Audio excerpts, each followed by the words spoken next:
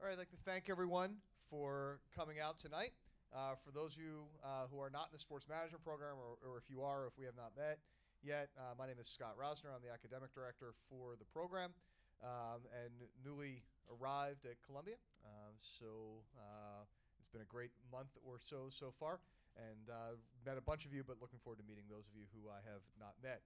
Um, but thanks everyone for coming to the panel tonight. Um, and for those of you watching uh, via live streaming. So, the theme of tonight, certainly for the, the first part of our uh, event, uh, is talking about connecting your passion with purpose.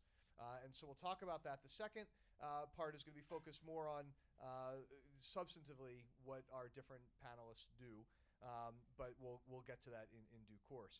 So I want to introduce um, our conversation, uh, my conversation partner for tonight, uh, Jon Wertheim.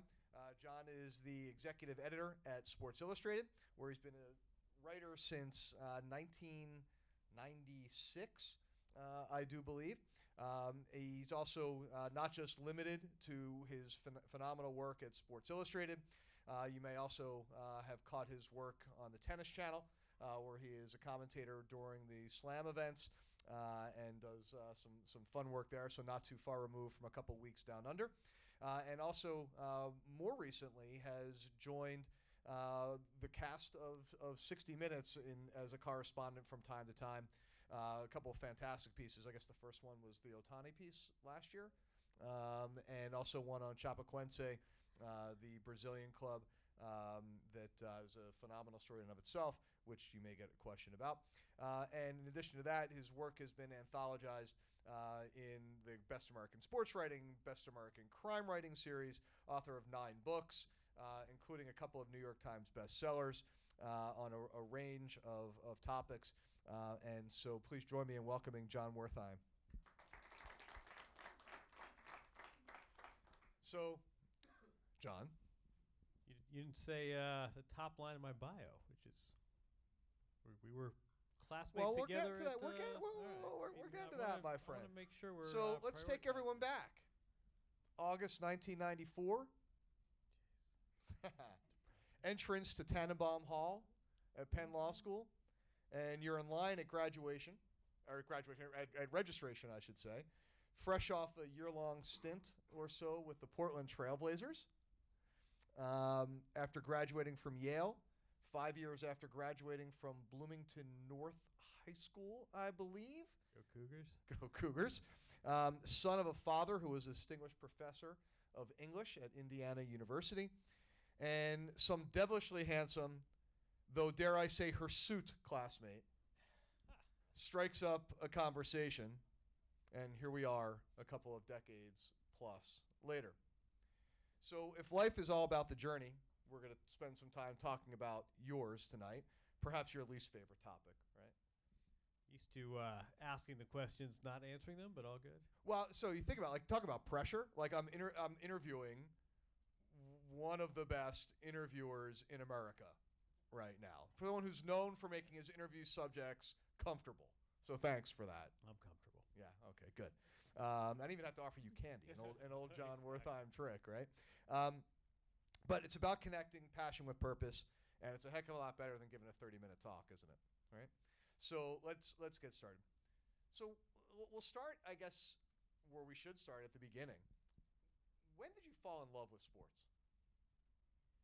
Um, I I always liked sports. I grew up in the Midwest, and it was sort of the the lingua franca. I mean, you, you, sort of had to know at a minimum basketball, but but I loved all sports, and I think, you know, it took me a, a long time to figure out if a career in sports wasn't like, I want to be a pro tennis player or I want to be president. Um, you sort of had to figure out if this was something you, you enjoyed, but okay, enough enough fantasy time to get a real job, or or if you could make a go of it. So sports were were always a passion, and I think you know, I mean, honestly, uh, when we, we went to law school together, and I think I went to law school, I'd spent a year at the Portland Trailblazers, like you said, boy, this is kind of fun. And I wasn't, uh, you know, no, no, one was buying jets, no one was getting rich, but it was really fun working for, for a team and uh, being around a sports organization.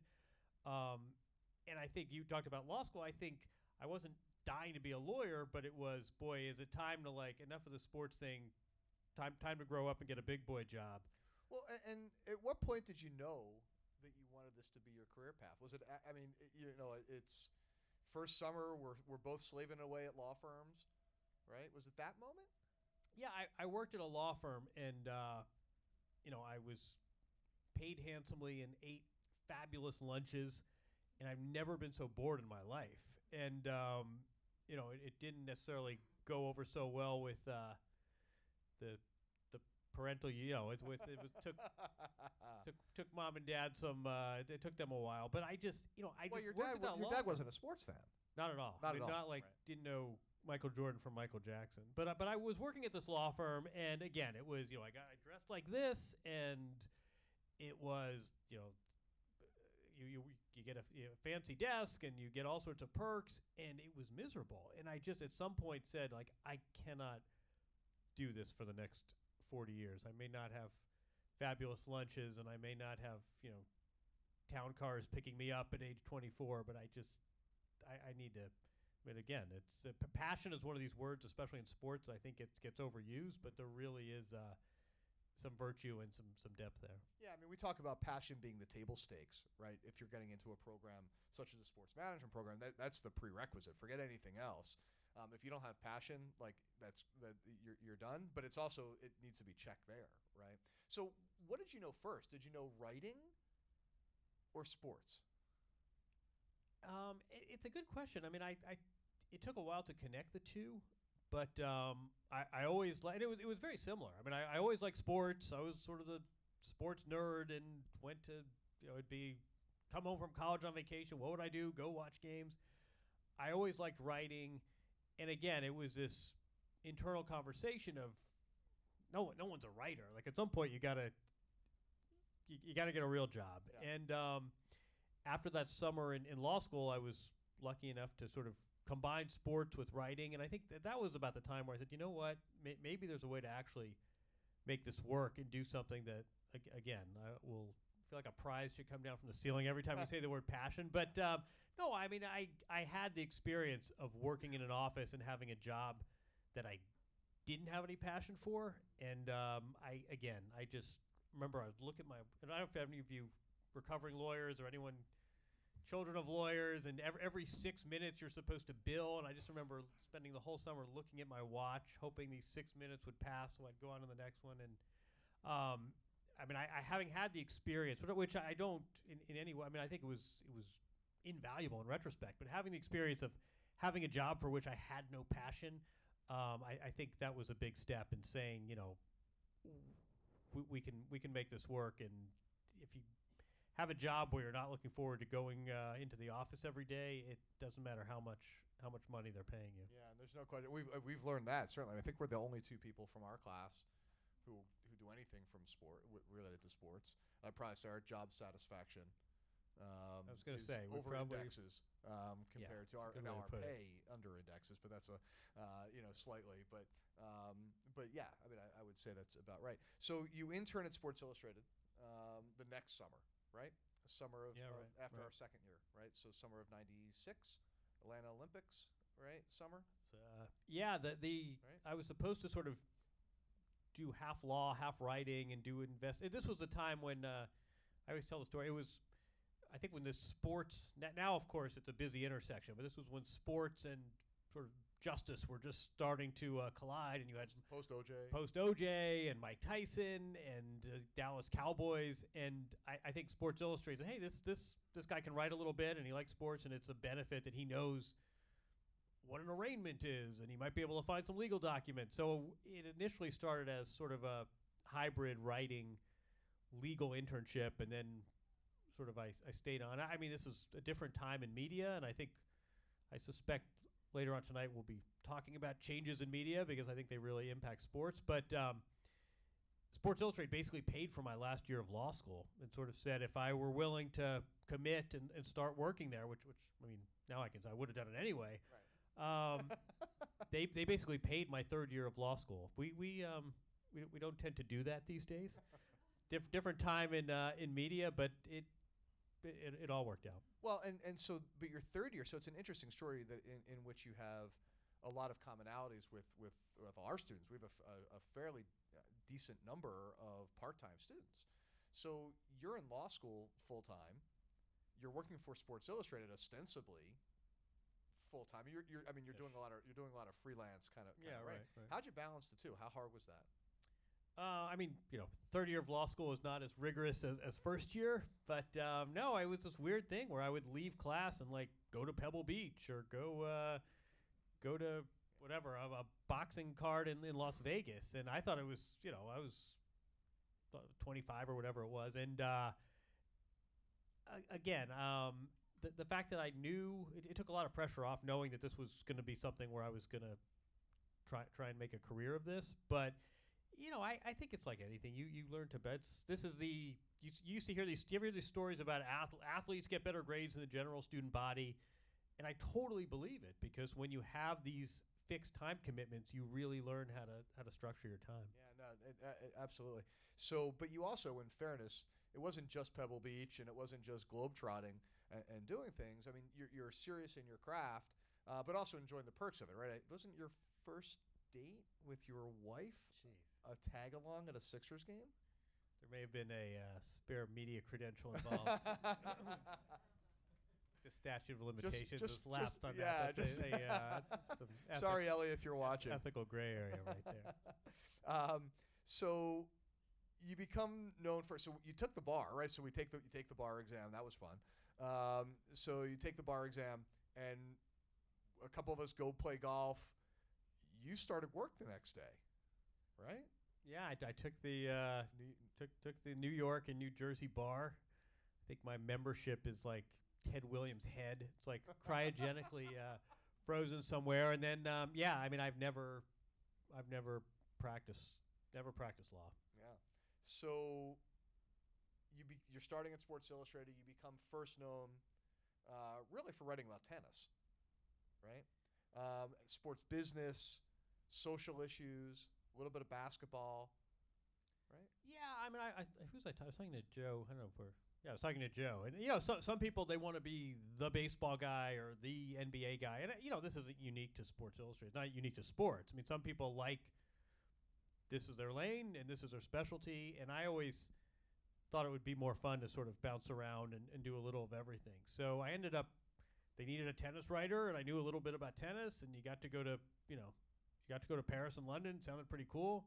I realize that tennis is not the NFL in terms of popularity, but the flip side is everyone's crazy and everyone's accessible, and uh, it's a fun sport to cover. But I always, I always like juggling and doing a little of everything. I couldn't be one of those. And again, this isn't unique to sports, but I, I couldn't be one of these people who only did, you know, the NFL. Right, right. The, the, the, the people who are fantastic at their jobs, the Peter, some of you are your colleagues, Peter King, right? Those who go deep into a particular sport, the beat writer kind of thing, not not your jam. And I no, and I think you see, you see that again. This I don't think this is unique to sports. I mean, I think there's some some lawyers in the law firm they're they're the bankruptcy guy and they know everything there is to know about bankruptcy. There are other lawyers and law firms that are a little bit more sort of free flowing, and uh, that's that's just my temperament. So, what was your first cover? Sports Illustrated. First cover. Um, oh, it might have been the David Wells Perfect Game. Oh, oh, I, I was at the athletes out of wedlock. There's a store investigative piece on athletes and their out of wedlock children. I think the cover read "Where's Daddy." The uh, the, the, the the writer doesn't write the headline. That's Oh, one of these truisms of. Uh, yeah, I mean that was that was an investigative piece, and that was a piece where actually having uh, some background in, in law helped. Um, I mean, I think the next week, I don't know, Car- Kerry Wood, I don't know, David Wells threw a no hitter, and my legal background had sort of zero help. Right. Um, and it's it's been that way ever since. So, but what did that feel like? I mean, y- I mean, you're on the freaking cover of Sports Illustrated, right? You got people calling you from all over, including me, saying, "I just opened my mailbox and I almost fell off the front step." Right? I mean, what's it feel like? I mean, you take it in stride. Or you're like, ah, "That's pretty cool." Yeah, I mean, in, in retrospect, it's pretty cool. I mean, this this was sort of uh, I don't want to say it's a bit of an explosive story, and you weren't sure who was going to react. I mean, it wasn't like, hey, Michael Jordan scored 40 points, and that's the cover, and that's cool. This this there was a lot of sort of lawyering and, and discussions with PR and interview requests. It, it was a bit. I mean, it was something I just never done before.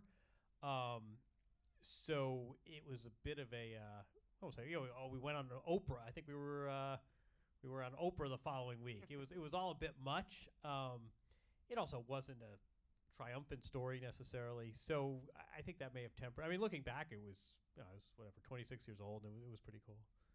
So you then branch into books, right? I believe your first book uh, was a poetically titled tome on an up and coming tennis star. Book was called Venus Envy. The the writer doesn't write the headline, so that's a takeaway. So you've since written eight more, right, on a wide variety of, of topics UFC, sports economics, sports fandom and science, billiards, Indiana basketball, not Indiana University basketball, Indiana basketball, a kid's book, diet fitness, No, Al Michaels, right, as told to. the um, yeah, I mean, I, it's uh, we're gonna we're gonna exhaust our quotient of passion, but t- talk about an endeavor where you absolutely have to like what you're doing. I mean, bu- book writing in some ways is greatly rewarding. It was always fun to just sort of have a side project where you're waiting for someone to call you back, or you want to take a break from writing about the NBA and you write about a pool hustler, but the notion of writing a book about a topic or a person um, for which you don't have passion is just a recipe for disaster. So these were um, a lot of times the books stem from stories I had written. Where hey, here's here's a story, but boy, there's so much more I want to say, or so much that ended up on the cutting room floor.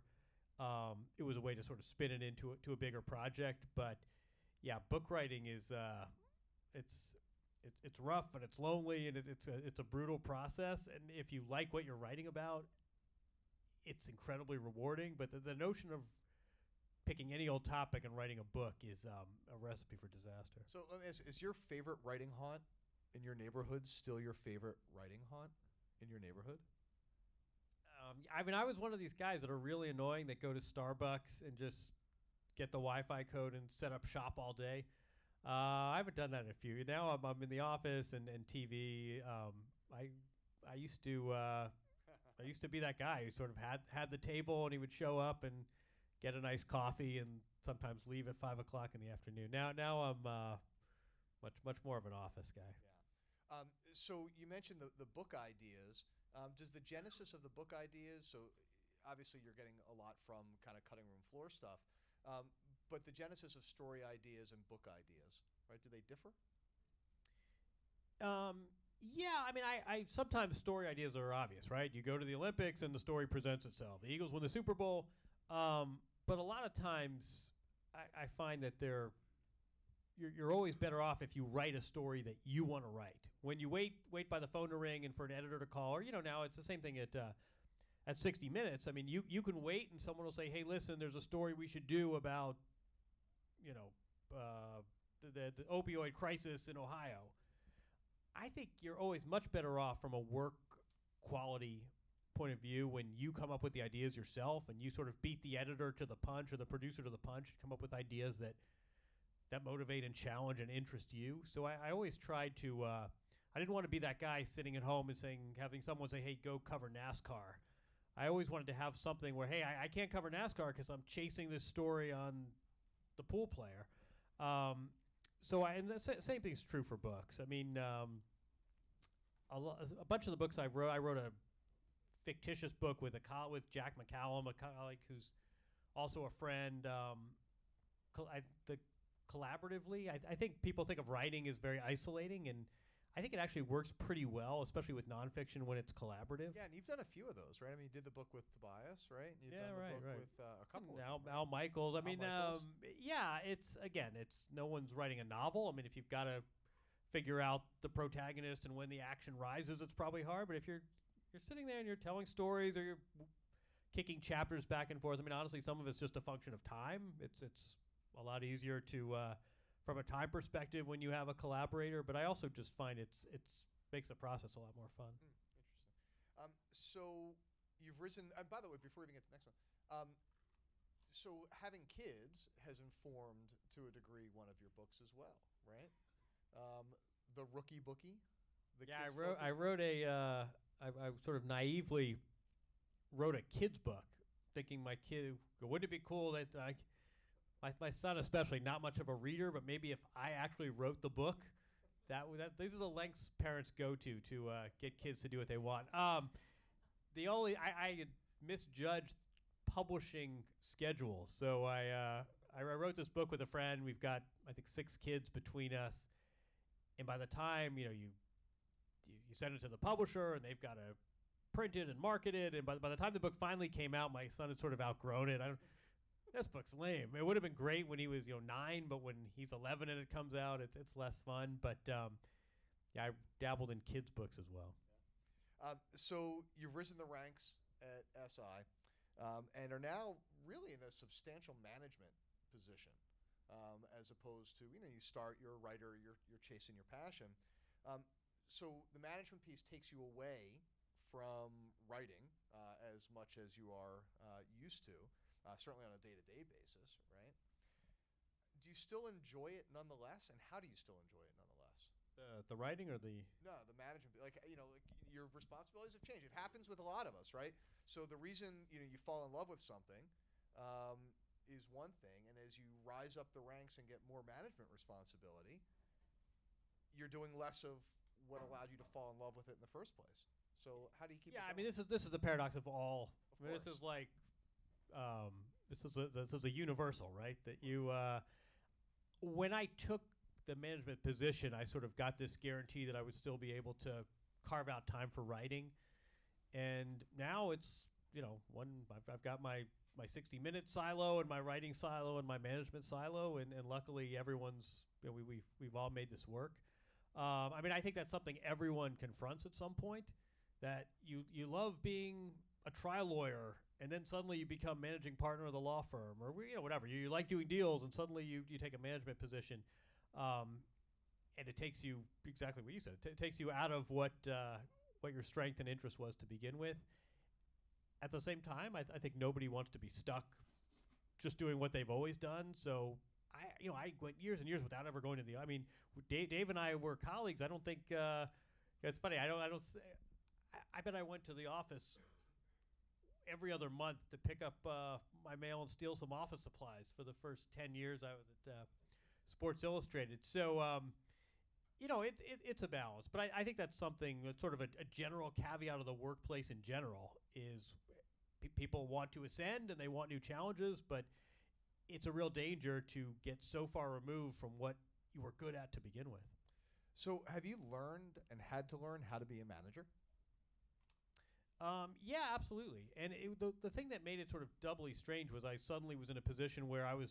These were my other writers were my colleagues. They were guys. You know, you'd see them in Milwaukee and get a beer. Or you'd, you know, send everybody would bitch about the editor on the group text chain. And I thought that. I hope You're, we're you're not. not, you're not on that text chain anymore, are Yeah, you? exactly. you're the subject of yeah, said exactly. text All of a sudden, you're the you're the jerk who uh, everyone's griping about. You're the one that's got to look through expense reports and find the uh, the meals at Morton's. And um, it, I think it was a bigger adjustment than I thought. The other thing that was a, a big adjustment was just what I mean. You said it jokingly about working in the coffee shop, but when you're a writer, here, here's the deadline. Here's what you got to do, and if you want to go run in Central Park in the middle of the day and stay up late writing, you can do that. And if you want to go to your kids' performances but skip lunch to work, you can do that. When you're in an office job and there's an 11 o'clock meeting and you're not there, there's an empty seat and everybody's saying, "Where's Wertheim?" It's um the the time was probably the biggest adjustment.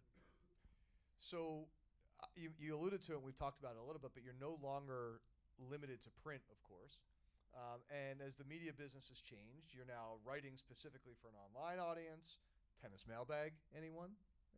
Um, tweeting, podcasting, doing very different types of TV work. Right, analysis at slam events is considerably different than correspondent work at 60 Minutes. Um, book writing. You've also written a screenplay. Didn't you write a screenplay? Yeah, yeah, yeah. Off a, off a book. Yeah. yeah. Yeah. yeah. Um, what, did that get made? That didn't get made. Did it? It's uh, In, in it's in it's a Hollywood story. right. Okay. Um, there's a ton of travel. You've got two teenagers. How do you balance it all? Um, boy, I well, no, I mean, I, I think the the one thing about media I find the the, the dirty secret. Media, it's obviously it's, it's the wild west, right? I mean, no no one knows anything, and and everybody's sort of chasing the next next platform. Um, the truth is, as a practitioner, it's actually kind of fun. I mean, I, I always compared it to boxing versus MMA. Like you watch, I don't know if you guys are. You watch MMA and they're you know they're on the ground and then they're up and they're using their legs and they're the notion of now then watching boxing just linear punching is seems uh, old, old fashioned at a minimum. I think the same thing is true in media. The notion of just being a radio guy and never dabbling in anything else seems seems absurd right now. Um, it's kind of fun to toggle and, and tack between you know TV and podcasts and writing digitally, which is very different than writing for print. Um, the flip side is just it's it's sort of chaos in the industry right now. The the travel the travel's actually not so bad just because it's generally predictable. My my rule is no I don't spend weekends on the road except a few times. So if you're gone on a Tuesday night with teenagers, you know, it's like going to they, they barely know you're missing. Um, when you wake up Saturday morning at the Charlotte Marriott, that's when I get a little that's that's when you start to, but um it's a little like my my this is I mean I think this is more personal than anything, but the the predictability like my family knows I know that I've got to go to Australia for the Australian Open the last two weeks of January. It's been that way for 15 years. Um, I, I think it gets problematic when it's, hey, we need you to go tomorrow. There's forest fires in California, so I, I try to just manage it so everybody can prepare in advance. You still a fan? Sports fan. Um, it's uh, it's it's like Dave and the Eagles. I mean, I think you you know, working in media in general, um, certainly sports media changes your fan experience. You're you're not there to root for it, and you sort of it's, it's not just like you see the. I mean, I I like sports. And I like athletes more now than ever, but it just seems seems sort of inappropriate. Um, I still like India. You know, I think I think most colleagues of mine, you still have one or two teams, and you have your boyhood. Uh, you know.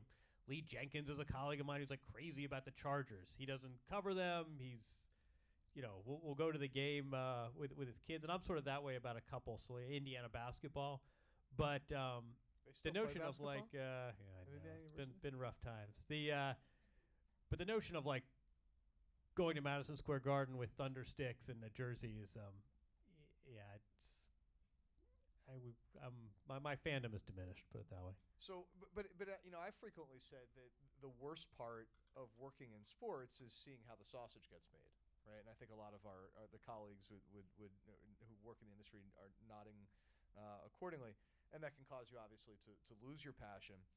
Have you been able to follow your your co-author Al Michaels' advice? Right, don't get jaded.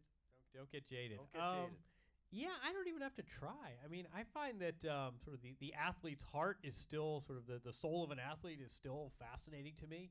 There's a lot of uh, you see the sausage being made in the sense of, you know, you you see some of the underbelly, but I, I think one reason sports is so fun and so strong. This, this is not a profession that can really be disrupted, right? I mean, you can have different platforms for broadcast. We can talk about streaming versus TV, but at the end of the day, like Roger Federer is Roger Federer, and LeBron James is LeBron James, and UFC fighters are UFC fighters. The core product really can't be disrupted. It's still competition. It's still the best.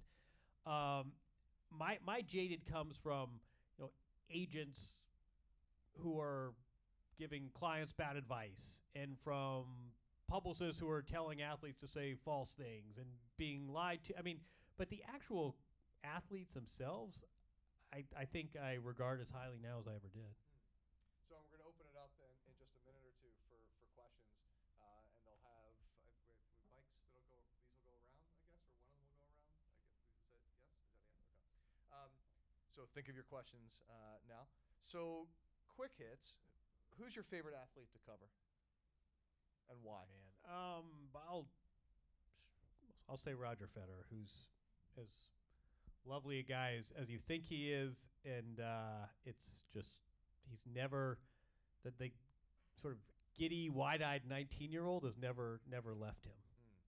And he was the subject of, of one, I mean, of, of a great book that you wrote on strokes strokes of genius, right? Which was the Nadal uh, match in Wimbledon. Maybe the yeah, right, right. match I'll, t- I'll tell you a fun. And uh, Federer said, I don't know if I. So I mentioned this to him. Hey, I'm doing a book on this match. He lost the match, worst worst day of his life, worst moment of his career, and he basically said, um, "I want to be clear that this is your book, not mine. I'm not ready to write a book." And I said, "No, no, no." And, and he said, "All right, well, as long as we have that, I'll anything you want." So here's here's a guy who. A, this probably cut into his ability to write his own book, which he's never done. B, he lost the match, he lost the number one ranking, and he recognized that this was a legitimate moment in sports. And I'll, I'll never forget, he was you know 25 years old. It was 10 years ago, and he made his father available.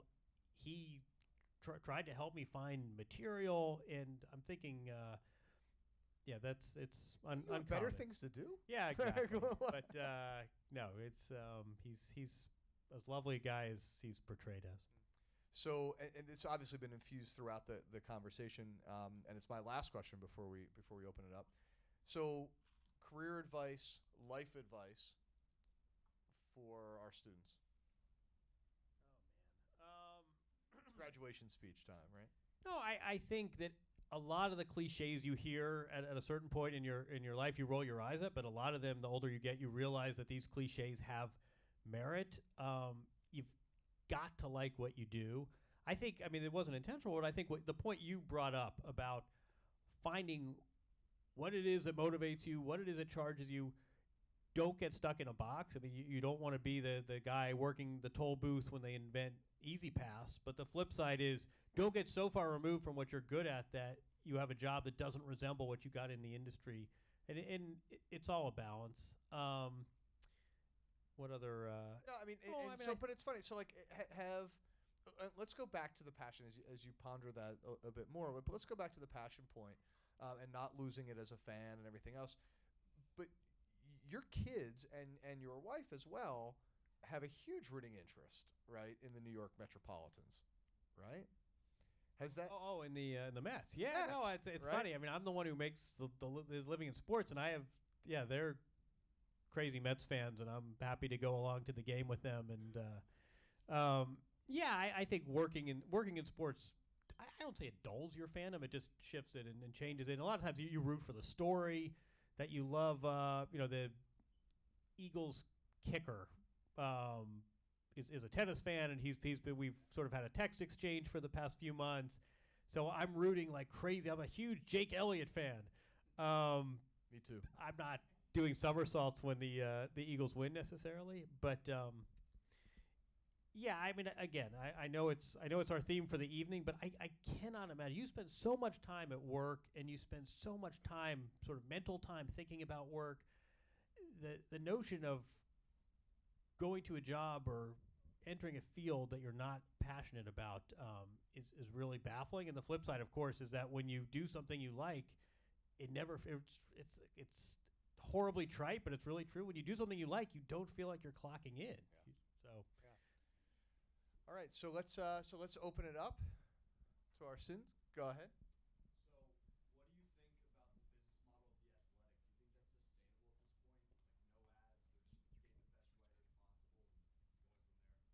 I don't know if everybody hear that. So so the Athletic is a new sports site that's uh, based solely on subscriptions. Um, I think we are all. It's funny because you know you used to have these these media rivalries, and uh, I think everyone is rooting for the Athletic um, because whether it's print or radio or TV, I think the flaws of the the ad based model have, have been exposed. Everyone's rooting for the Athletic. I think. Um, again, I, I suspect this will come up in the in the next hour, but is my son who's 16 is he going to pay for sports content in place X when he can get it in place A, B, and C um, for free? So I, th- I think the fact I, I think they really have to distinguish themselves with their content. Um, but I, th- I can tell you that uh, unlike previous years where you know Bleacher Report doesn't necessarily want uh, you know, we name your uh, um, you know, their, their rival to succeed. I think everyone at, at some level is rooting for the Athletic. Who's Bleacher Report's rival? Why am I? Uh, yeah, yeah, Barstool. Right, exactly. So, good question though. I mean, a lot of people are following this with uh, with an awful lot of interest. Hi, thank you so much for being here and sharing your experiences. I'm a recent graduate of the program, and I used to write about covering the women's sports world and specifically the women's soccer team for an online publication. And if I hadn't been writing those stories, I don't think they would have been covered. So, what role do you think media has in growing women's sports and supporting the growth of women's sports? Um, yeah, it, it's a great question, and I think that um, you know, I, I think it's you know ESPNW does does a great job. I mean, I think it's it's always going to be a balance between audience and I mean, I think I think there's an obligation panel. I, I think there's sort of a it's people say to us, said, how come you devote you know 10 pages to the Warriors and you barely cover the WNBA finals? And the knee jerk answer is, well, we're responding to the audience demand, but I think at some level you've got to the media has to take some account. It's sort of a chicken and egg thing, and at some point the media's got to say we're the chicken and we're going to cover this, even if the metrics say that people would rather have a college football story or uh, Lonzo Ball, what's his name, LeVar Ball story.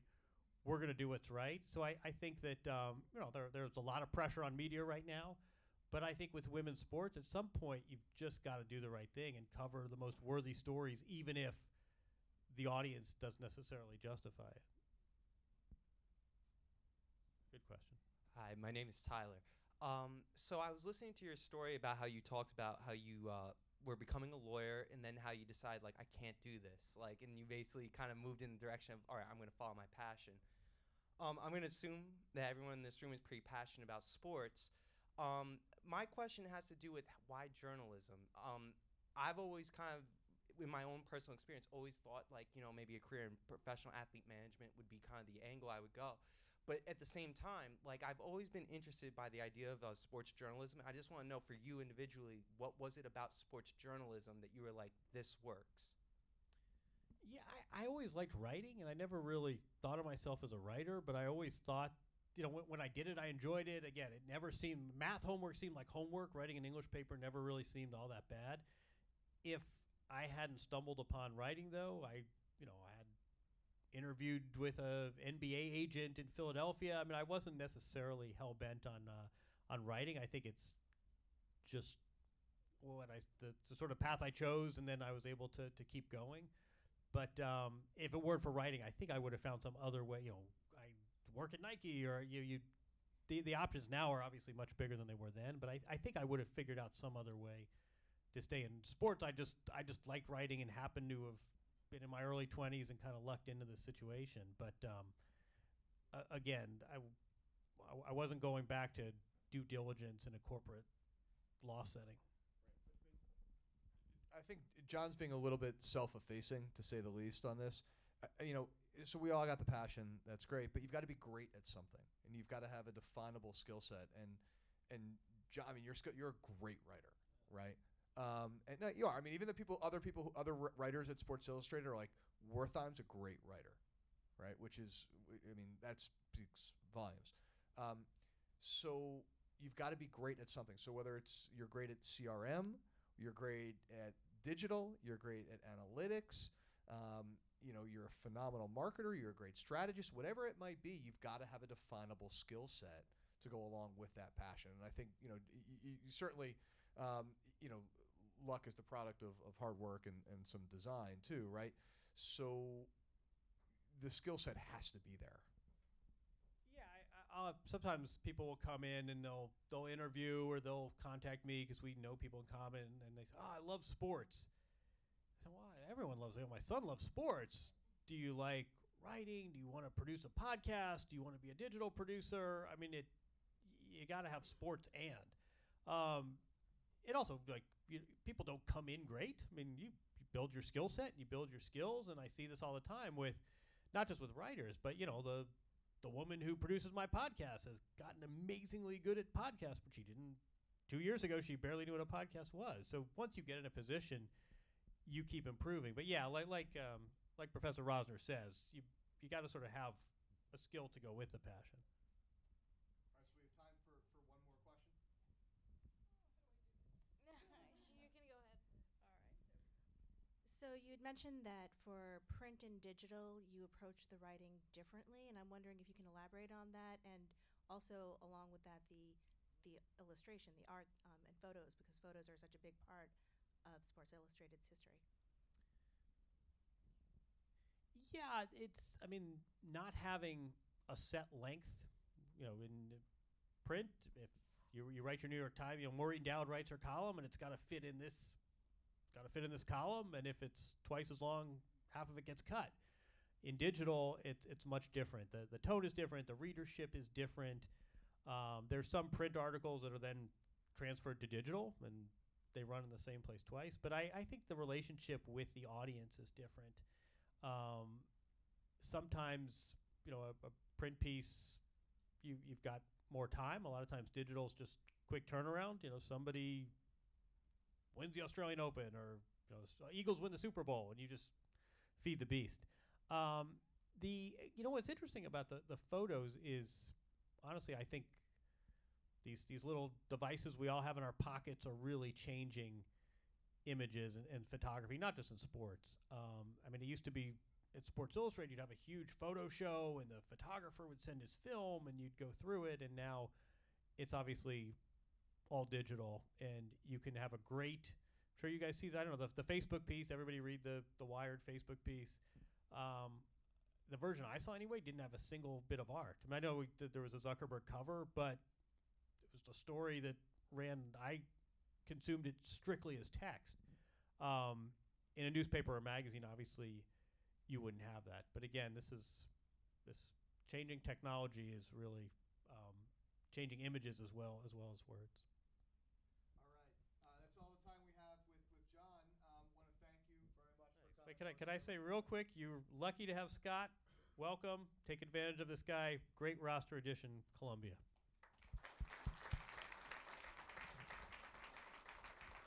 So we're going to transition now right into our larger panel. So if I'll, I'll invite the panelists uh, to come up, and Jon, thank you again uh, for everything. I th- somewhere here we've got a nice parting gift for you um, as well.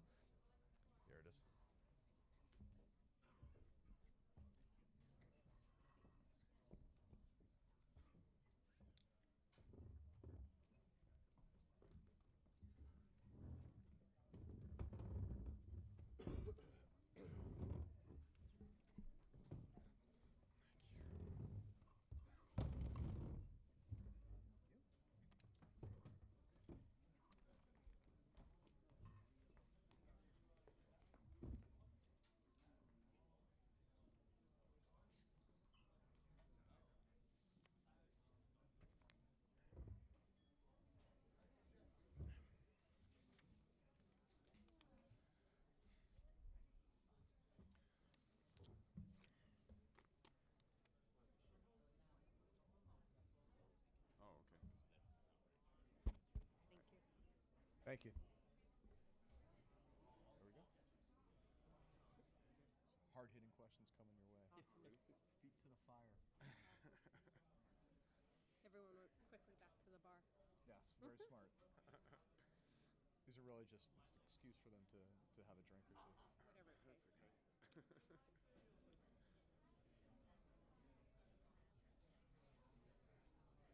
Who you've known Jon a long time? Yeah, for a very long time. So he was, he was literally my first friend in law school. Oh, no way. First and only. or- Yeah, so I got two. My wife, is my other one. Um, You both met your wives at. we both met our wives in law school. So At a 76ers game, both of you? no, no.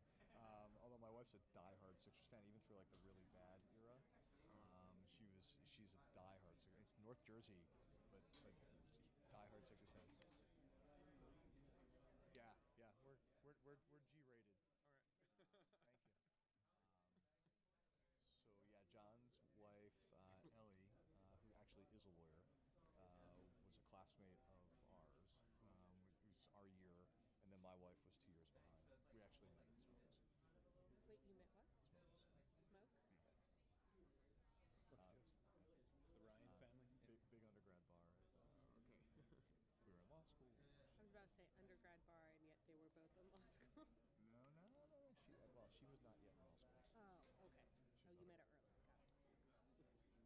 friends first. All right, ready. Yeah, I know. We're I know. We're good. All right, if everyone could uh, could please find their seats.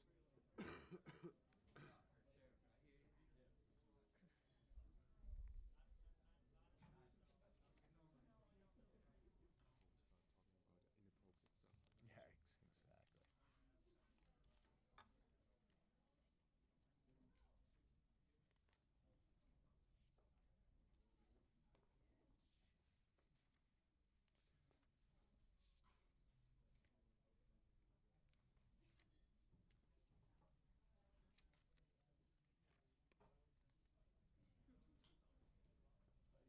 Notice Jon's not sitting in the front row. No, very smart, very smart.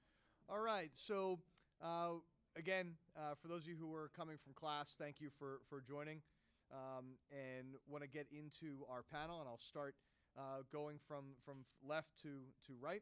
Uh, so start with with Dave Mingey. Dave is managing director of CSM Advisory Group, um, and formerly uh, the uh, f- co-founder of Glide Slope. Um, leads a team that provides strategic counsel to many of the world's leading brands looking to leverage sport and entertainment as a business driving tool. Uh, prior to Glide Slope, uh, was with Pepsi. Uh, right? Am I getting this geog- er, getting this chronologically right?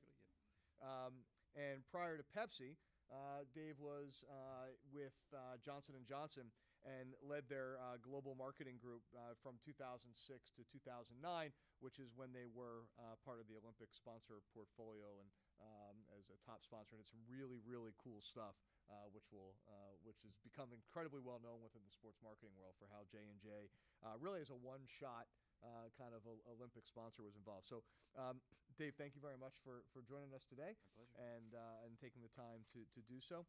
Um, by the way, I should mention that Dave is a, a diehard Philadelphia Eagles fan, uh, which you may have heard No won words. the Super Bowl Yep. uh, last week. So uh, anytime we can kind of you know get that out there, just again remind the world, um, that's a that's a good thing. Native Philadelphian like like myself. Um, second, uh, and, and in the middle is is Dana Rosenberg. Um, Dana is managing director in Teneo's consulting division. Her expertise is building brands, customer engagement, loyalty, uh, and partnerships. Um, and works again with with a lot of different companies to drive growth through the lens of customers uh, and brands, uh, customer segmentation, focusing on demographics, psychographic data, brand positioning, um, messaging, go-to-market strategies. Prior to that, uh, she was at Starwood uh, Hotels, leading their global partnership team. Uh, grew, if you've ever checked in and you've got the SPG Rewards program, uh, that was really what Dana was was all about. Uh, managed a global team and did some really really interesting stuff. Uh, before that, she was at Kraft, uh, which was your first job out of out of out of business school, right? Um, Dana was uh, I've known Dana for a very long time. She finished her MBA uh, at the Wharton School uh, in 2004, and Dana was in the original group, I would say, of, of rock star students, uh, even way back then. And so, kind of knew that she would wind up uh, back in sports uh, at some point. Uh, having you know been a softball player at Princeton uh, and everything, but so it's great to see uh, her have such gr- great career success and and a 40 under 40 Sports Business Journal nominee uh, as well. Um, so thrilled to have Dana joining us on the panel tonight. Thank you. Um, and then finally, uh, immediately next to me is uh, is, uh, is. Um, joined uh, FC Bayern in October of 2010 um, as a, an account manager um, for uh, several big partners. You had Allianz. You had some biggies. I mean, Allianz, right? Uh, you got stadium entitlement. Uh, got beer, Beer. right? So that's good. Uh, Siemens, right? Uh, pretty pretty good, uh, amongst others. So uh, has worked on Champions League uh, related projects. Um, it, it doesn't really head of partnerships, uh, and then moved to uh, moved to the, the states uh, to, to to be the, the kind of the guy uh, and help lead the the New York City office for Bayern Munich, uh, which was really the first of the global clubs uh, to come and set up shop uh, in New York, which we'll which we'll talk about as well. So you know, thank you very much for for taking the time to to to join us here.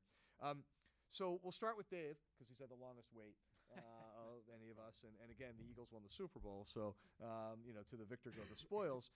Um, so, Dave, your career uh, and what you, you guys, especially at Glide Slope and then the acquisition um, by CSM, you made your bones in, in Olympic marketing, right? And in working with, with companies that were uh, deeply engaged in sponsorship and trying to help them figure out uh, their sponsorship strategy.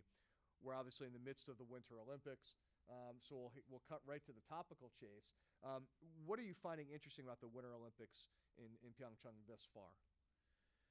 Wow. Well, obviously we're just getting underway, um, but I think from a business of sport perspective, it's interesting to see what a light footprint um, it is. Many of us kind of that work in that channel um, long have been concerned about Pyeongchang, and not that it's uh, anything short of a fantastic venue to host the games, but from a marketing standpoint, from a business building standpoint, um, South Korea is not always a, a, priority market if you look at some of the, the key sponsors. Um, mm-hmm.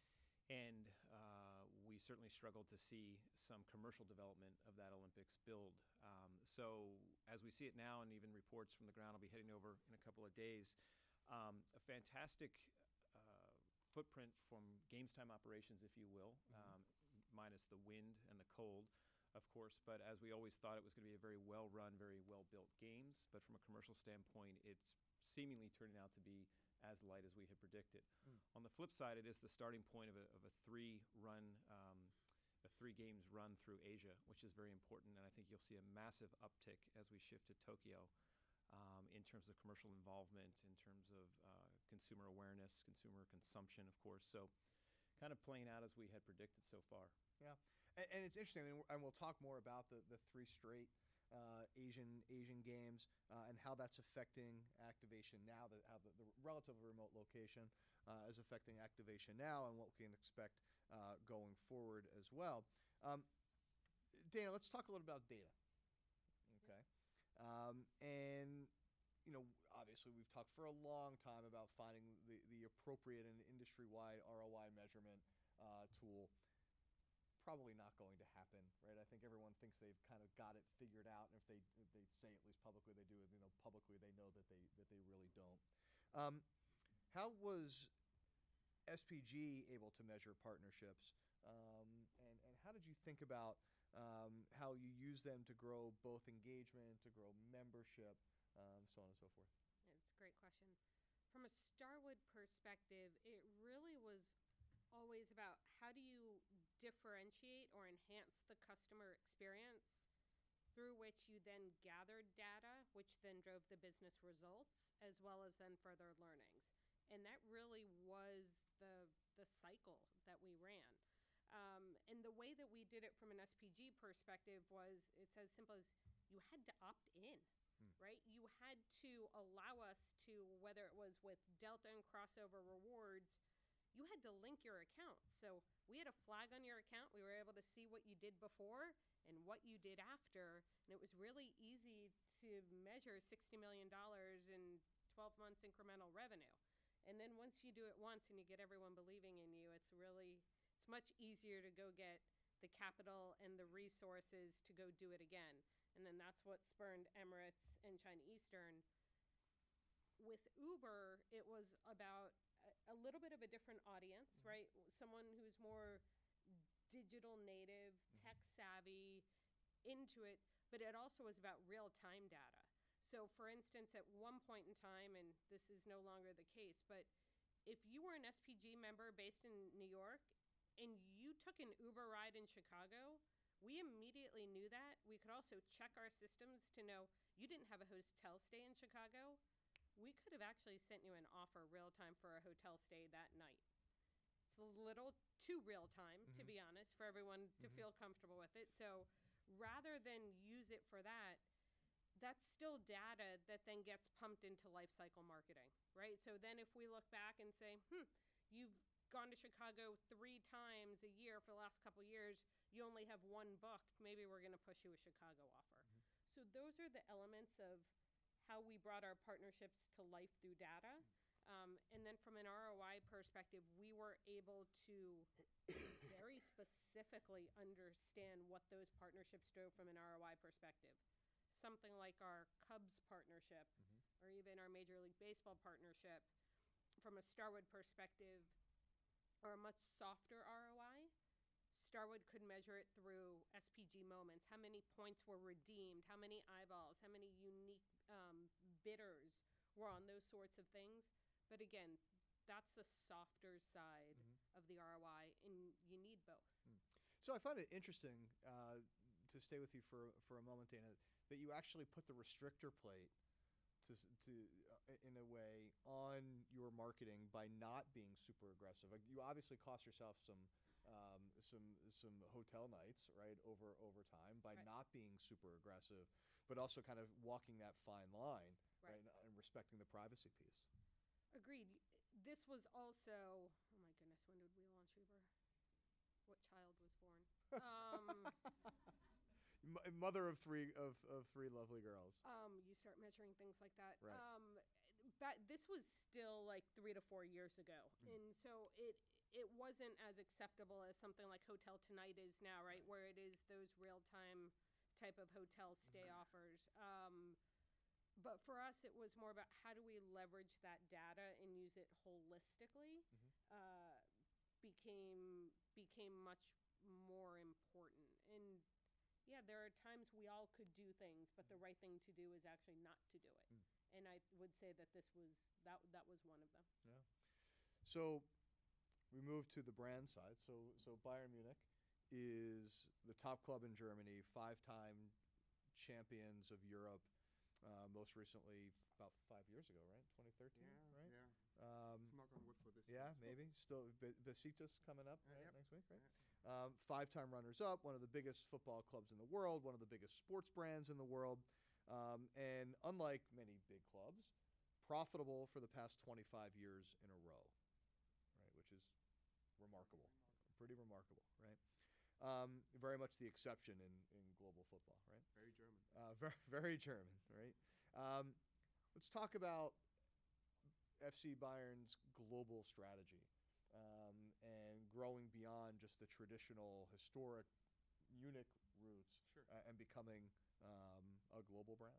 Yeah. No, sure. I mean, FC Bayern Munich, as you put it, we are the um, most successful club by far in Germany, obviously, and we kind of exhausted all of the the potentials in Germany over the last couple of decades and profited from the big German economy, and and that was uh, what made us so successful as well because we uh, were able to uh, piggyback on the the big and good German economy. Uh, but at some point, you know, with all the the craziness in the transfer markets and the, the players obviously getting not uh, cheaper, uh, we we needed to find a way how we can stay competitive uh, in the market Mm. and therefore grow our platform and the brand FC Bayern Munich as well.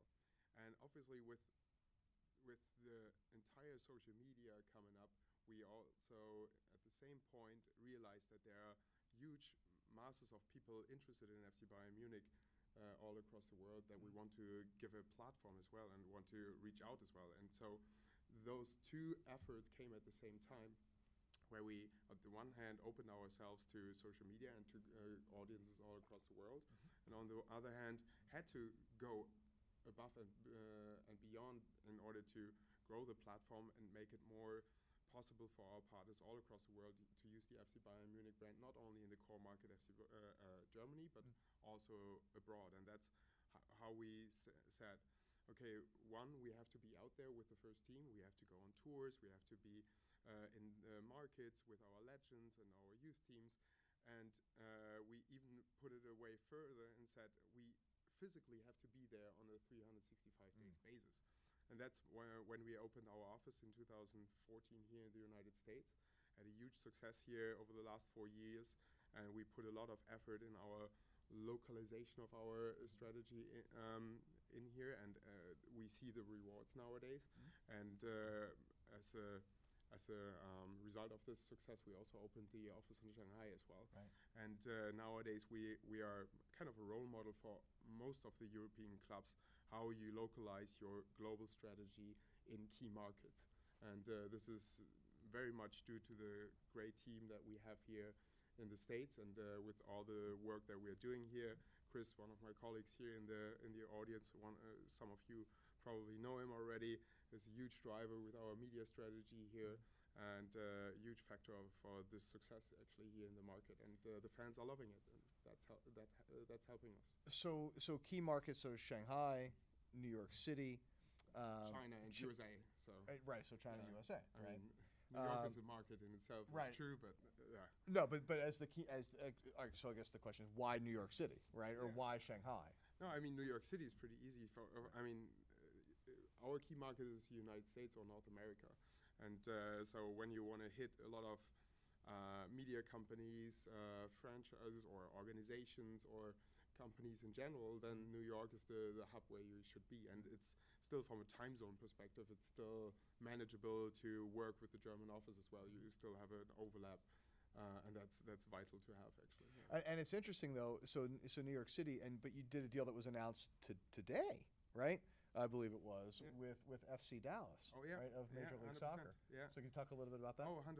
I mean, we are very proud uh, that uh, we made this announcement uh, actually today, even though we've been working on this for months, really. Um, and actually, the first initial conversation we had with the uh, FC Dallas folks was in 2014 when we opened the office. So uh, they were the one uh, uh, of the only ones that were part of our office opening in 2014. So um, no, we we are looking in all what we are doing here in the United States. We are looking for the right partners. Mm. Uh, so we've got a great grassroots partnership with our uh, partner Global Premier Soccer. Uh, we've got uh, wonderful media partnerships uh, with uh, PerformGoal.com and others, uh, and we've got also a great partnership with Columbia University, right? And so we were looking. um, no, and we were looking for a partner that can help us uh, also in the professional soccer um, here in the United States. And we we've been since since opening the office here, we talked to a lot of organizations, also to the MLS. But we also we always felt we need someone who who shares the same philosophy with us, uh, who is interested in youth development uh, much more than anything else, and uh, is running an organization that is uh, very well run and uh, has got uh, deep roots in, in the in the soccer in, in the United States and. FC Dallas and the Lamar or, or Lamar Hunt and uh, the Hunt family definitely represent that. And um, there was a there was a great understanding with with the Hunt family how uh, how we can approach a partnership, and uh, we share the same philosophy. And uh, we are yeah we are pretty excited about this partnership, and uh, we'll we'll see what uh, comes out of it. Yeah, and, and their youth program, FC Dallas youth program, is recognized as the top Exact- one in, exactly. in yeah. MLS. That's, I mean, it's, that's one of the biggest reasons why we entered this partnership, actually. So, or one of the main reasons, actually. right, and and uh, McKennie. Uh, Yeah, I- I mean, he went I to mean, He went to Schalke, Schalke, right? But you beat them over the weekend, so it's yeah, okay. exactly. Uh, um, so, so Dave, let, us step back. Let's re-enter uh, Olympic world. Um, I think I know the answer to this, but I'm curious. Um, who's the breakout star of the Olympics thus far? Um, and s- part two of the two-part question: Any other must-have athletes at this point?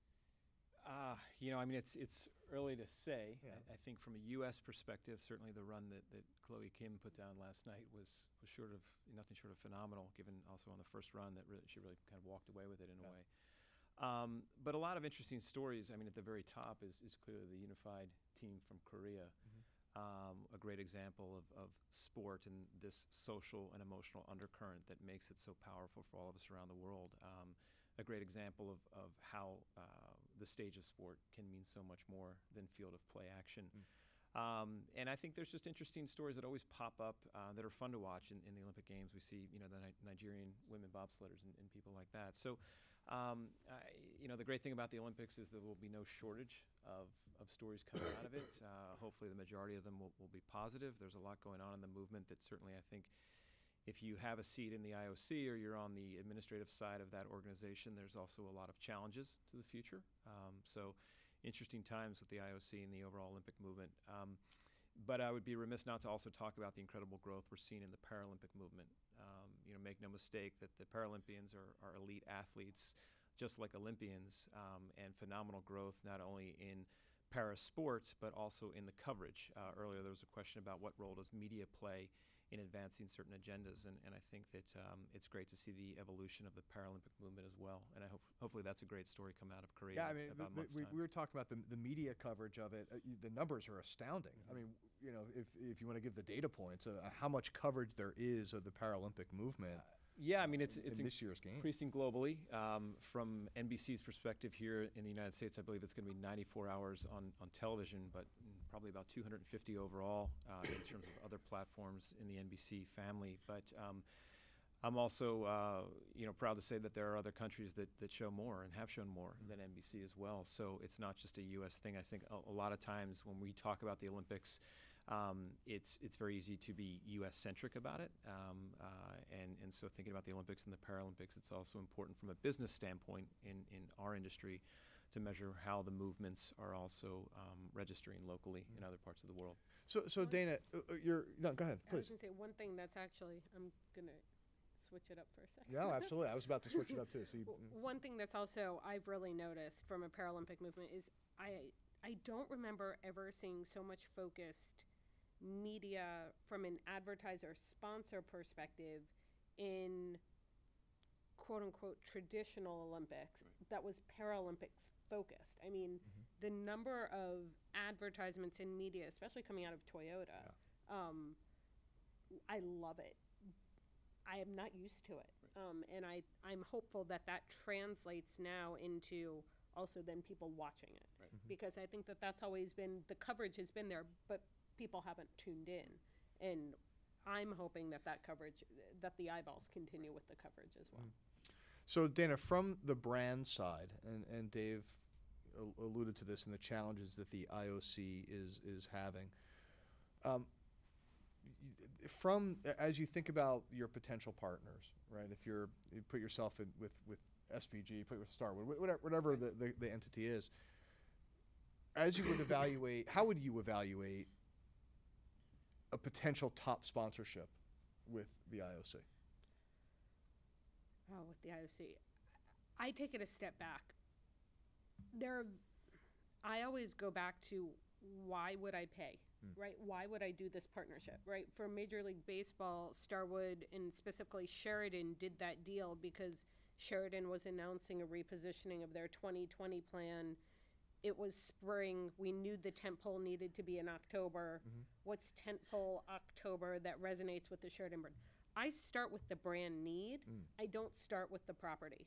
Um, yes, they need to dovetail, and sometimes if you really need to, you can back your way into it.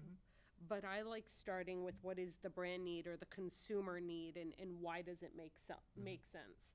Um, so that that's just one example. Um, similarly for Westin with the pellet with Pel- uh, the Peloton partnership, right? Westin is all about fitness and wellness, and how do you do it on your own time? Mm-hmm. And how do you also bring in technology and innovation? Because from a Starwood perspective, we always our brands always wanted to be on the forefront of that. Mm-hmm. And then the brand dictated who we went after, if that makes sense. It is. It does. And and so uh, now I'll f- flip it back to you, Dave. Yeah. Right. So the brands that are engaging with the Olympic movement, what are they hoping to accomplish? There's a lot of different things you can accomplish, right? But you would engage the IOC if you are trying to. Well, I mean, let's say that, that we hope that answer is, is move bottom line results. Um, from a business standpoint, it's important when you think about the Olympic Games or, or global soccer as well that um, the movement we're seeing in the industry, let's say roughly, I mean, Joe probably knows these numbers better than anyone, but I think it's about, the last count, uh, $118 billion sports marketing global industry. Uh, of that, roughly 42 billion is spent on sponsorship. But, but here's the interesting thing about someone, a brand that would choose sport is, is a brand spending north of 15 million annually um, in the space of sponsorship. 92% of them are non-endemics. They are not the Nikes, the Under Armours of the world. So their core business model is not sport. And what increasingly we're seeing more of, uh, not only internally as the brands get wiser on how to leverage sport, but we're also seeing greater scrutiny from Wall Street. You do hear these questions come up on quarterly earnings calls now and saying, what's up with this $300 million FIFA deal and why is that a good investment for you guys? So um, we hope that, that brands that are looking into the Olympic movement are doing it for bottom line reasoning. Um, what's interesting in that process or this increasing evolution is that uh, the IOC is back on their heels more than ever. Uh, you see some major brands leaving, and make no mistake, when someone like Alibaba comes in to the IOC, they're not buying a box of assets. They're not getting a category. And, and those discussions with Jack Ma and President Bach are, are quite different. They're truly about here's what we want, and here's what we hope you understand uh, and can help us build. Um, you know, we, we met with Alibaba a little while ago, and, and they were just throwing out these facts, and it's, you know, I think more than 220 million people transact on their sites a day, which is really more than, than the adult consumer transaction here in the United States every day online. Um, a brand that has that kind of power and that kind of data um, certainly goes into the IOC relationship with very direct goals in mind, and it's changing up the way that boxes of categories are sold. Um, it's leaving some properties really having to now actually go bolster their internal organizations with people that no longer are salesmen and women, but that are truly purposeful partnership builders. Yeah. It, it's not about signage anymore, right? I would throw my signage away if they let me, right? It's more, that's the problem. Um, it, right, it's much more about building that experience, right? We can all go buy something online cheaper, quicker, everything else. It's more about how do you make someone feel, mm. right? What is that value add that you can't, that, that you can't put into words? and you go back to ROI, that's why Starwood was able to quantify that people would be willing to drive 15 minutes out of their way and spend up to 25% more because of experiences like that through moments, which is why we went sports heavy, entertainment heavy, in what I call passion points, mm-hmm. right? Sports, music, entertainment, fashion, fitness, beauty. What do people care about? What do people want to talk about? How do you want to reward yourself, reward your family, reward your loved ones from a Starwood perspective when you're traveling all the time and you're not always there? Um, it's, it's what you care about, it's what you're passionate about. And so it's even more important for brands like us to support you guys or the, the partners with those kinds of experiences, moments, content that you can Right. share with your customers. In even full disclosure, we were partners at one point. no, but but uh, definitely that that's a request that we are getting nowadays every time from our partners and uh, and even more. And everyone wants to have access to this and uh, unique content uh, produced here. And obviously, it's it's difficult for for a brand like that, like us, or a platform like us to uh, live up to all those different unique requests. Um, and also our fans, they've got uh, their own unique requests, and we have to cater to this audience as and use our brand or our platform as a as a, as a way to engage with our fans ourselves. So th- there's there's always a fine line. Um, branding content is always, always the, the buzzword, and and uh, it's it's we're trying to accommodate that as a, as a brand, and um, and still there are brands out there that are looking for this signage and, and for brand exposure and want to introduce the new uh, Audi sedan to, to the masses and, and uh, are using a powerful global brand platform like FC Bayern Munich. There, there are always both sides of the story, but definitely the unique experiences and the unique access is becoming more and more important. And uh, yeah, and that's that's a challenge for for a platform like us uh, because we've got only 22 players that uh, we can Right. get uh, give partners access to. Um, and we need this access as well nowadays more than ever, since we are catering to a US audience, to a Shanghai audience, and to an audience all around the world. And everyone has got their local favorites, and uh, to a Latin American audience nowadays, no, uh, obviously as well, with all of our our players there. But this is something we all have to struggle and to work with, and uh, something also the players have to understand that they are nowadays even more not only a, uh, an athlete, but be, being a professional athlete also means that you have to be, um, yeah, part of the, the game, kind of, right? And uh, I think the U.S. athletes know that much more than the European athletes are used to it. So, so and and the managers, I think, understand it too. So, how do you how do you convince the manager that of the uh, of the the demands uh, that the players face and that the brand faces, Yeah. right? Uh, that might be different from the smaller club that they that they that they came up with. No, I, I mean, um, part of FC Bayern being profitable for the last 25 years is also because we were able to um, make our partners happy, right? So well, and in fairness, and um, so your commercial, I mean, your commercial partners are, according to you know the publications that rank these things and Yeah. the, the Deloitte's of the world, um, the, the largest in the world, right? Yeah. So the, the fourth largest revenue generating club in the world. Um, but the largest in terms of commercial partners. Yeah, exactly, and that that's uh, so important for us because we are not in a heavy TV structured market, Mm-hmm. so we are lacking the TV revenue that other leagues like the EPL or La Liga has. So. Our our partners partner structure, our commercial partnerships are much more important to us than to any other club or around the world. So we have to make them happy, and everyone, every employee, every coach that is coming to FC Bayern Munich knows about this special relationship at FC Bayern Munich, and that, that we have to kind of comply to the rules in that sense. So is is there an intersection between the global strategy and the labor supply market? So if you think about it, does having a global labor market impact your product market, or is it simply opportunistic, right? So if you think about um, Alaba, right, Yeah. who's who's Austrian, Yes. right, um, or Alcantara, um, or uh, Javi Martinez, Yeah. right, Bo- Yeah. both Spaniards. D- does that how does that help you? If you think about uh, Vidal, right, would be and James Rodriguez probably the, the Yeah, two that- better. So Chile and Colombia. That's what I meant with with uh, Latin America. Obviously, the, the the partners that want to activate in Colombia would love to have James uh, Rodriguez all around them all the time. Um, it, it definitely helps us in certain markets, but we would never buy a player just because he's from that or this key market because we because we Dortmund has Dortmund has a pretty good American player yeah that would that would help you in this market, right? Uh, I mean that that's debatable. uh, yeah, definitely it would help us, but uh, would wouldn't a Mexican player maybe help us even more? Uh, I don't know. Uh, or uh, I think Right. I think every um, global soccer star, no matter what country he's coming from, uh, would help help us if it's Neymar, Ron- Ronaldo, Sure. Messi. But I think we are pretty confident, uh, uh, comfortable with the roster that we are having yeah, right now. no, of course. So, no, uh, you, I mean you're, you're only in f- you're only in first is- place. You're only in first place by what, like 19 points in, Uh, in 18 February. only. 18. All right. Yeah. So, um, any but have you seen any traction in Colombia in any of the markets in which your players 100%. as, as a result of the player? Yeah, hundred percent, especially in Colombia. But uh, James Rodriguez is such a phenomenon, actually, actually that it's uh, difficult uh, difficult to compare. But also in Chile with uh, Arturo Vidal, we see um, a huge uh, uptick in, in the numbers. Uh, but uh, yeah, Colombia uh, Colombia was definitely exceptional. Yeah. that's for sure. So, so Dave, w- when we step back and think about um, global sponsorship, particularly with respect to mega events, so FIFA World Cup,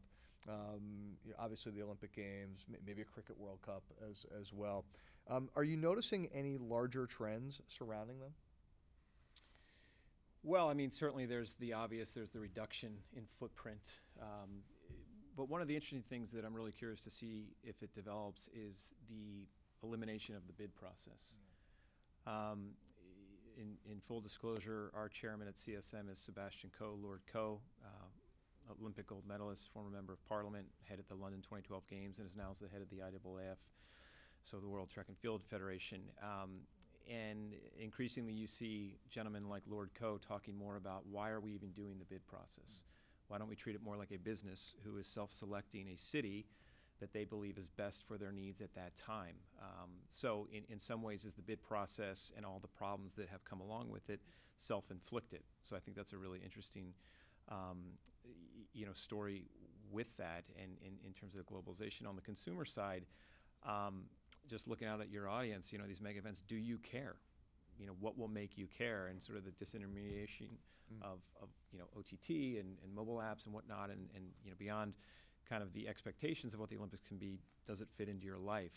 Um, so, you know, those are things we're following. I mean, selfishly, for all you guys, I know it's, it's in somewhat it's a, it's a career fair, and as Jon said, you know, find work that's meaningful because it really does matter uh, when you're working late or you're flying all around the world or, or just thinking about stressing on, on the subway about something. But we have about a decade of great opportunity in this country coming up. So, I mean, you even can skip from uh, rugby sevens World Cup coming up, but for the first time ever, we're going to have the three largest mega events that you mentioned, Scott, coming to the United States, and it starts with the World Track and Field Championships coming to Eugene, Oregon. Uh, and then we move on to knock on wood, hopefully a World Cup, as long as we can knock out Morocco, and that, that bid process, which certainly seems hopeful. Yeah. Uh, and then, of course, the games coming to Los Angeles, the Olympic Games. Uh, there's also some behind the scenes talk about um, a winter bid coming right behind that from the United States. So, in some ways, as you guys are entering the workforce here, we have an unprecedented rough decade of opportunity for you to be involved in these mega events. So that's just selfishly as an American, that's something very interesting for us to follow, both personally and, and commercially. So, uh, and let me follow up on that uh, Olympic related question, Dana, with you. Um, so again, playing the hypothetical, you're you're you're the brand, you're making the decisions. Um, let's say that you have a relationship right now with USA Gymnastics, right? What do you do? I'm separating mom of three, Right. of three girls, and the brand. Um, You're recommending this to the CEO. You're the chief marketing officer. Congratulations, by the way. thanks. Um, so there are two, there are two ways I'm thinking about this, which is why my wheels are spinning. Right. One, I my first one is, what is my brand? Who do I stand for? What is my messaging? Things like that. Right. If I am insurance, financial markets, and this might be a totally bad idea. This is all off the cuff, cuff of my head, right? Yeah, I, sp- I sprung this on her for, for sure. We'll talk later. Right. Um, in terms of is there any way to spin this to how do you plan for the unexpected right? How do you how do you take bad information turn it into good? I, and this is such a, a situation where i don't think you can right? Um, so that would be one thing right? I, I, it would depend on who the brand is and could you change based on the messaging any of that. Um, the other side of it is look sometimes you just cut bait right? And and you go take that money and you go spend it somewhere else. I saw the same thing about the markets Right. today the financial markets right? At some point you just say okay we got some good out of this during some years. Let's leave. Go reinvest the funds because it's not going to be worth the opportunity the lost opportunity cost because this is not going away anytime soon Right. right? Because from a um, university perspective, from a state perspective, from a Karolyi Ranch loca- this is not ending yet. Yeah. And do you want to continue to be involved with it? I would probably say no. Um, so that would be my recommendation. if I may ask the question, I mean the everything horrible and Yep. difficultly, uh, really horribly managed as well. But the sport will still be there, right? And there will still be women and kids be passionate about doing gymnastics. And if everyone would leave ship, that would be even more horrible to those people that love the sport. If you just try to really focus it on the sport and uh, kind of phase out everything else, if that's possible. And I completely agree, which is why I tried to lead in with the first part of Yeah. I think it depends on how you can tell the story for your brand, knowing who your brand is, Mm-hmm. Yeah, right? sure. So, but I agree with you, right? These girls and women actually need more support now than ever. Exactly, yeah. Probably. And you don't want to be someone who leaves. So if Mm-hmm. you can still get your correct brand messaging across Mm. while doing that and telling that story, and yes. being part of the cleaning up process. Exactly. You stay, but depending on who your brand is, Mm. it there there are some brands where actually it would be more detrimental to stay. So I mean that gives you a little bit of a, a mindset, kind of why I sprung the question um, into the, the thought calculus behind uh, behind something like this, right? So we have time for uh, one or two questions, uh, and then they give us the hook. There's a special branch of the Columbia University Police apparently that come in and, and grab you out of here. Um, so uh, so let's uh, let's take one or two, uh, and we'll.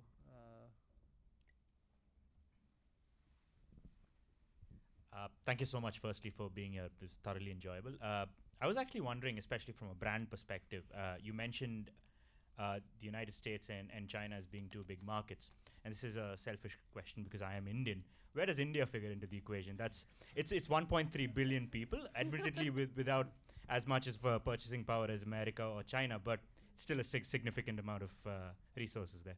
No, India is definitely a market that we're looking at, but you spread thin if you go into every market, really. So we um, we are focusing at the moment on uh, on the U.S. or let's say Uh, we actually, from the U.S. office, we also are expanding into the Americas in total, and uh, the office in China was just open in uh, March 2017, so just a year ago. Uh, give them some time to settle in the, in the Chinese market, and then no, but we've always had a good relationship with, or, or yeah, a good relationship with the Indian market already because we uh, played a friendly in India in 2010, I believe.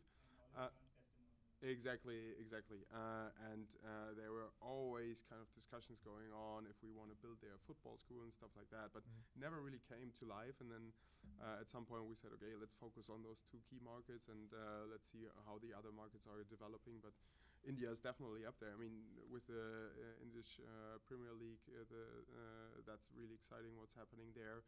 And yeah, it's a developing market that, uh, and yeah, the numbers you you put it, it's it's di- uh, difficult to ignore. Yeah, it's true. Time for one more. Uh, thank you for the great speech. And um, I have one question for the media. And um, the Pyeongchang Olympics, I think, is very fun and entertaining. But one question I had was uh, the time schedule of the program. Uh, with my home country in, in Asia, in Tokyo, even though figure skating and skate jumping are very popular, it's um, the it runs from midnight or from like 9 a.m. or 10 a.m. because I think it's very based on American audiences and Chinese audiences. So even though it's uh, in Korea, the times the uh, games are played are based on the states, I think. And do you think this will be a trend for the future, or do you think with the uh, purchasing power shifting over to like Asia or India, it will shift in the future, or do you have any thoughts on this like time of? Pre- Uh, it's a it's a great question and a very important one. Um, as we all heard in 2008, you know, Michael Phelps did not prefer swimming for a medal, you know, at 8:55 in the morning or whatever time that was. Um, and and you know, but but in so many respects, the commercial dollars that are behind these types of events are, are very important for their longevity and the sustainability. I think what we're increasingly seeing, though, is um, other platforms that are available for better viewing time slots for live audiences. Um, the other issue is certainly the IOC uh, has a duty, as they say, to ensure that the games are being enjoyed in, in the right regions in the right way and move, moved around the world. Um, but it's a very complex problem because it's one of those situations, as you might say, no matter what time it is, it's bad for someone in the world. Um, and, uh, you know, do you go back to where your largest audiences are for the live feed, or do you go to where you want your largest audiences to be, something like India, perhaps in the future? It's a, it's a big, complex question. Um, I'm certainly not as qualified as, say, the folks at NBC to respond to that. Um, but uh, it is something that we all wrestle with, and, and even on the commercial side, because when do we want our ads, if you will, kind of running at certain periods and, and live versus tape delayed or whatnot? I mean, the same issues we have with our kickoff times in the Bundesliga as well. So, what market do we cater to? Is it the German audience? Is it the American? Is it the Asian audience? And uh, yeah, that's definitely something to figure out. Yeah, I'm a big fan of the early morning kickoff. So, so go. Uh, keep keep going. All right. Um, thank you so much uh, to everyone for coming. But most important to our panelists uh, for joining. Uh, Dave, Dana, Benno, thank you very much. Um,